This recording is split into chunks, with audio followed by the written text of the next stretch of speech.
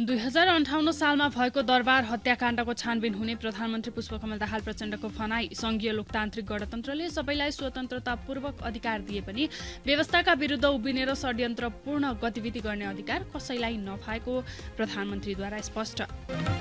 नीति तथा बजेट निर्माणमा रेडिकल रिफर्म गर्ने तयारी भइरहेको प्रधानमन्त्री पुष्पकमल दाहाल प्रचण्डको भनाई नीति कार्यक्रम र बजेट सामाजिक न्याय र समाजवादको पक्षमा हुने उल्लेख।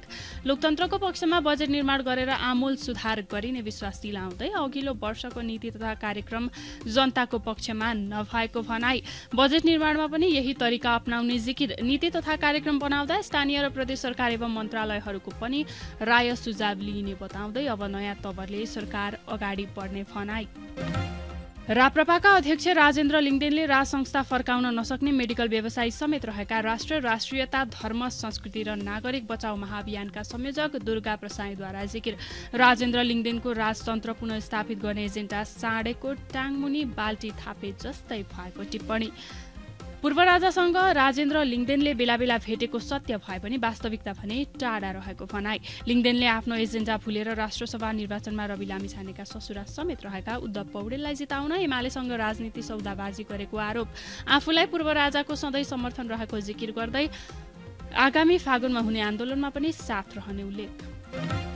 नेपालको परम्परागत घोकन्ते शैक्षिक प्रणालीले बेरोजगारी बढाइरहेको नेपाली काङ्ग्रेसका नेता डाक्टर शेखर कोइरालाको भनाई। केवल शब्द रटानले मात्रै देश नबन्ने भन्दै विकासका लागि प्राविधिक जनशक्ति आवश्यकता रहेको उल्लेख। अन्तर्राष्ट्रिय बजारमा बिक्ने व्यावसायिक र प्राविधिक जनशक्ति तयार गर्ने कुरामा राज्य चुकिरहेको कोइरालाको भनाई। राम्रो प्राविधिक जनशक्ति तयार गर्दा वैदेशिक रोजगारमा जानेले पनि राम्रो काम पाउने र स्वदेशमै बस्नेले पनि राम्रो आय आर्जन गर्न सक्ने उल्लेख। चिकित्सा विज्ञान राष्ट्र प्रतिष्ठान न्याम्स अन्तर्गत वीर अस्पताल हुनु नहुने नेकपा एमालेका सचेतक महेश कुमार बर्तौलाको भनाई। न्याम्स अन्तर्गत नै वीर अस्पताल हुने हो भने नेपाल सरकारको केन्द्रीय अस्पताल कुन हो भन्दै गरे प्रश्न।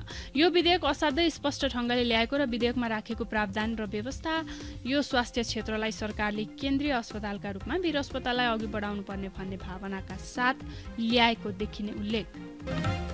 वीर अस्पताललाई प्रतिष्ठानबाट छुट्याउन नहुने चिकित्सा विज्ञान राष्ट्र प्रतिष्ठान न्याम्सका उपकुलपति प्राध्यापक डाक्टर भूपेन्द्र कुमार बस्नेतको भनाई। दुई हजार त्रिसठी सालमा वीर अस्पताललाई चिकित्सा विज्ञान राष्ट्र प्रतिष्ठान आङ्गिक अस्पताल बनाइएको बताउँदै अहिले संसदमा पेश भएको नेपाल एन संशोधनको दफा चौवालिसमा चिकित्सा विज्ञान राष्ट्र प्रतिष्ठान एन दुई हजार त्रिसठीमा संशोधन गरिएको प्रति आफूहरूको असहमति रहेको उल्लेख।